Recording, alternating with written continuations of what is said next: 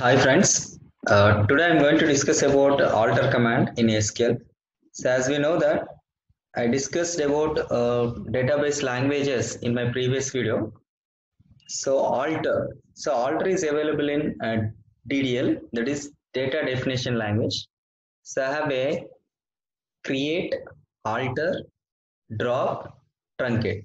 So these are the commands in data definition language. So in that, I want to discuss one command that is alter. So in alter, there are three different types of commands. The first one is alter add, alter modify, alter drop. So now I want to explain about these three commands alter add, alter modify, alter drop. So if you want to execute these three commands you need one table. So here i have a table. Select star from table name student. The student is my table name. Here i have a three fields. So first one is id second one is name third one is address. Now the first command is alter add. By using alter add you can add extra field for an existing table Suppose I want to add GPA field for an student table. So now as per syntax alter table table name. So what is the table name here? Student, right? Now use add. Add is the keyword here. Add, alter, add. Now open the brace. Now I want to add GPA of the student. So now use decimal. Decimal is the data type here. Now press enter. Now check.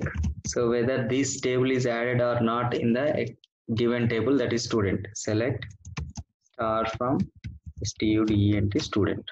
So now GPA is added for an existing table. So if you want to add extra field for an existing table, so use alter table, table name, add, open the brace, GPA, decimal, data type, close the brace, so end with semicolon. Semicolon indicates end of the statement in SQL. So now if you want modify the data type. So previously it was a decimal, right? Now I want to change the data type of an field. Now I want to change decimal to varchar. So in that cases use modify. Modify means changing one data type to another data type. Alter add means adding extra field for an existing table. So like this. Now alter.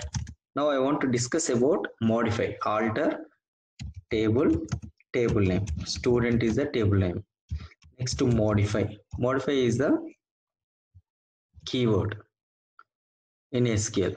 Now what I want to do is I want to convert, I want to change decimal to varchar for GPA. GPA. Now VARCHAR varchar 20. Now press enter.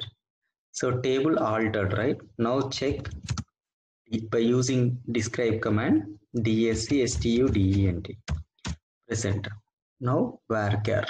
So data type has been changed. Previously it was decimal.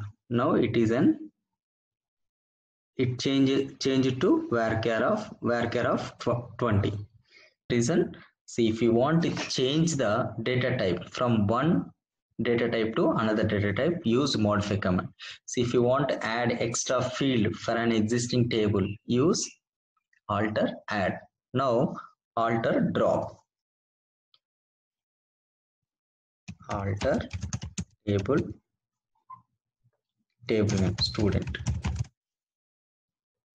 Drop. Now the thing is i want to drop gpa field. Gpa press enter so table is altered. Describe student student.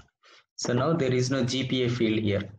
See if you want to drop one field or multiple fields in the given relation that is student so you can use alter drop. Alter drop alter modify alter add. Add is easy to add extra field for an existing table. Modify means you can convert one data type to another data type. Alter drop means you can drop one column or multiple columns in a relation. Hope you understand the concept of alter command. So thank you. Thank you for watching this video